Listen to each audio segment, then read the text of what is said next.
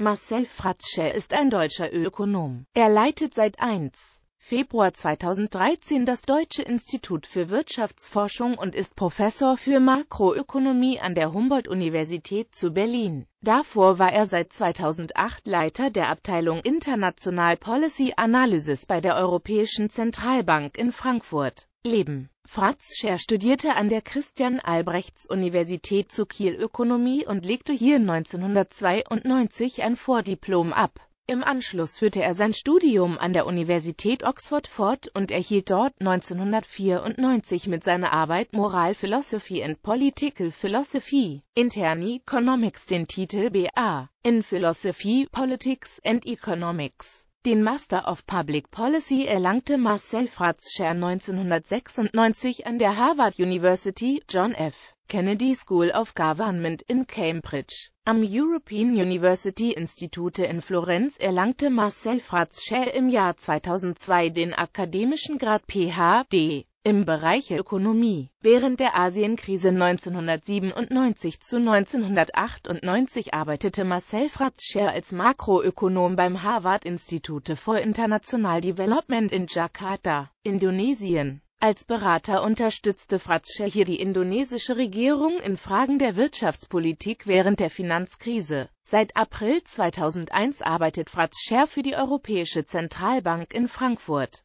zuerst als Senior Economist and Economist im Direktorat Volkswirtschaft und später als Advisor und Senior Advisor im Direktorat International. Seit 2008 leitet er die 24-köpfige Abteilung International Policy Analysis der Europäischen Zentralbank.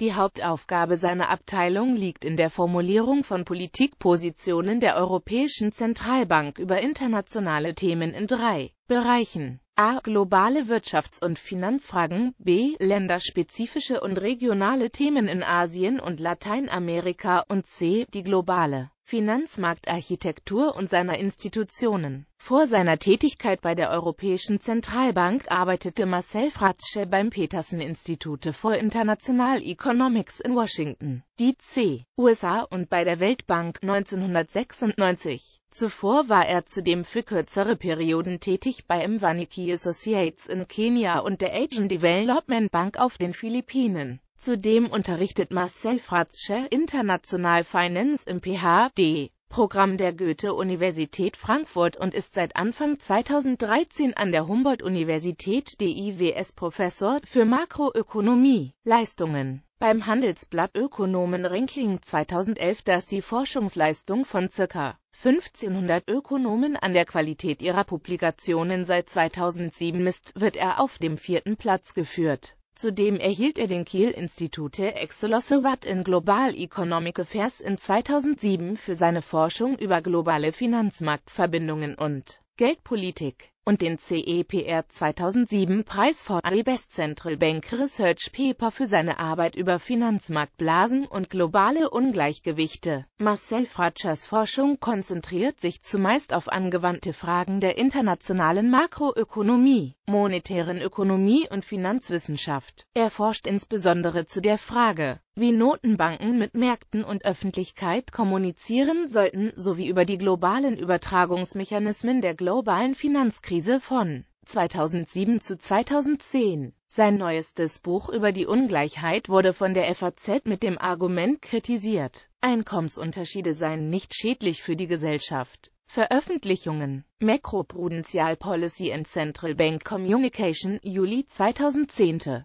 Contagion and the Global Equity Market Collapse of alle 2007 zu 09 Financial Crisis Juni 2010 Confidence and the Global Economy im Druck. Asset Prices, News Shocks and the Current Account, Juni 2010. IMF Surveillance and Financial Markets, A Political Economy Analysis, Mimeo, September 2009. The Global Transmission of alle 2007 zu 09 Financial Crisis in AGVAR Model, European Economic Review, Monetary Policy in the Media, Journal of Money, Credit and Banking. Politics and Monetary Policy, Review of Economics and Statistics. How successful is AG7 in managing exchange rates? Journal of International Economics 79, 78 zu 88 September 2009 Convergence and Anchoring of Yield Curves in the Euro Area, Review of Economics and Statistics. What explains global exchange rate movements during the financial crisis? Journal of International Money and Finance 28, 1390 zu 1407, Dezember 2009. Risk Sharing, Finance and Institutions in International Portfolios, Journal of Financial Economics 94. 428 zu 447 Dezember 2009. Stocks Bonds, Money Markets and Exchange Arates.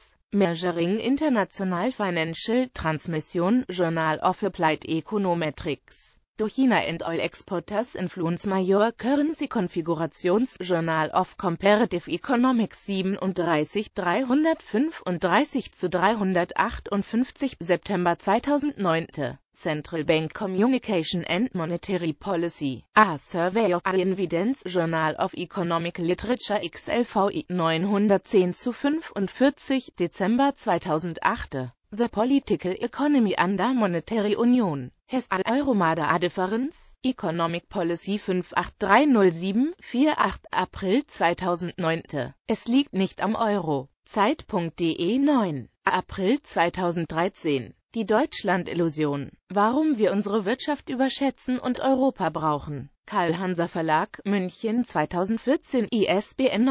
9783446440340 Verteilungskampf. Warum Deutschland immer ungleicher wird. Karl-Hanser Verlag, München 2016